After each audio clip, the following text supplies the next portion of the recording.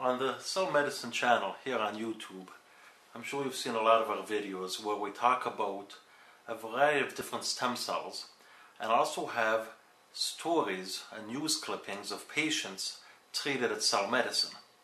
So some of you have asked me, said, Tom, it's interesting about cell medicine, but what do you do?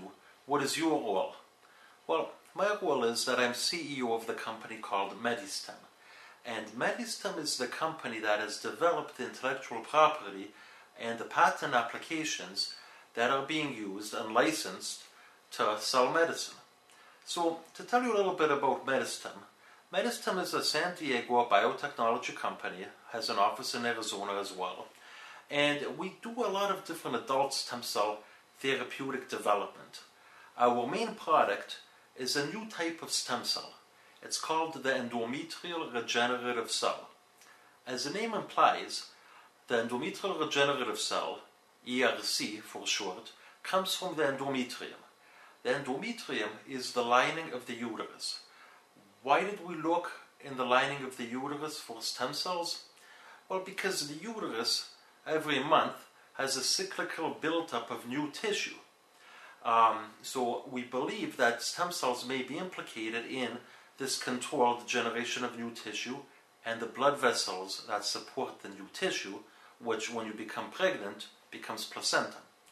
So we initially identified a population of cells, which we published, that appear to be similar to mesenchymal stem cells, except they have some unique biological markers on them that we're not going to talk about in this video, but we'll talk about it in future videos and you can read the publication.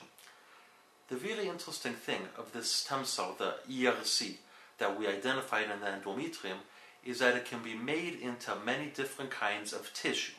So, as you can see in this figure, ERCs can be made into fat cells, as detected by adipo-red staining, bone cells, as detected by calcium, muscle cells, as detected by alpha-actin or muscle myosin. They can also become blood vessel cells, as detected by CD34 or CD62, liver cells, as detected by SHAPE and albumin expression, islet or pancreatic cells, as detected by production of insulin, brain cells, as detected by nestin, which is found on neurons, or glial brain cells, which is um, detected by GFAP, and also lung cells as detected by lung pore, surfactant protein C. So, we have a population that can become a variety of different tissues. The first question with any kind of stem cell is, is it safe? I mean, if it's not safe, in animal studies, there's no point in further developing it. So, we initially published a paper where we gave mice escalating doses of ERCs, and there was no toxicity. In the same paper, we demonstrated that if you induce spontaneous tumors, slow growing tumors, by giving the mice radiation, you also do not accelerate, you actually inhibit tumor formation by administering these stem cells.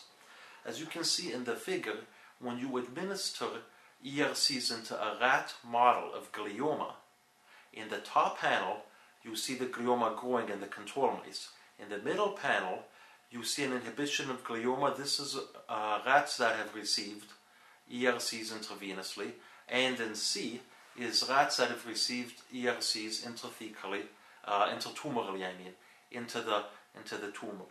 So it appeared from the animal data that the ERCs do not have direct toxic effects and do not promote tumors. Now, because the ERC can become different tissue, and because we've also published that the ERC can modulate the immune system. There was a study done in four patients with multiple sclerosis who received ERCs intrathecally, which means into the cerebral spinal fluid, and also received ERCs intravenously. And the follow up was three months and one year, and as you can see, there was no um, no abnormalities in the basic organ and serum function and, and plasma levels tested of the enzymes produced by the organs, and there was no ectopic formation of tissue, no abnormal tissues were made, and uh, obviously no tumors were made. So, besides this initial safety investigation, the ERCs were also used in a patient with Duchenne's muscular dystrophy. And Duchenne's muscular dystrophy is a disease where there's a mutation in the gene dystrophin. It's a lethal disease which um, the majority of patients do not live past the age of 30. And the patient that was treated with ERCs was, uh, was in a wheelchair at age 12 and he was treated when he was 23 years old. He underwent a profound recovery, um, increase in muscle activity from a 2.5, 2.5 out of 5 to a 4 out of 5. And um, if you look at this video where I'm showing you the link, that's actually a video of a news report on the same patient that the publication came out of. The um, other interesting thing, of course, about this patient is that he started expressing dystrophin at the sites of injection. So the ERCs were actually becoming muscle cells that expressed the corrected gene. The other interesting um, clinical use of ERCs to date has been recently published uh, last week in the patient with congestive heart failure, a 74 year old patient who received ERCs intravenously and had an improvement in ejection fraction from 25 to 30 between 25 to 30 was the pre-treatment to a 40% ejection fraction that was stable for the period of over one year. So, we know from an animal point of view and from limited human experiences, which were performed under compassionate use, that ERCs appear to be safe and appear to induce some biological effects. Now, from a company point of view, what do we do with the ERCs?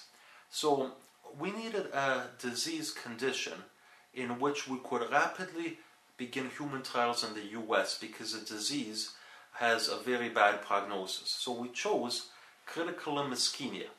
This is a condition where a lot of type 2 diabetics have it. It's reduced circulation in the lower limbs, causing amputation. And uh, we developed a clinical protocol with Dr. Michael Murphy, who has treated patients in the US with critical limb ischemia before. Uh, that's a link up there to a video about Dr. Murphy. But um, and we developed animal studies which we've published showing that if you inject ERCs into mice whose circulation to the leg is blocked, the control mice have the leg dying, whereas the treated mice have the leg functioning.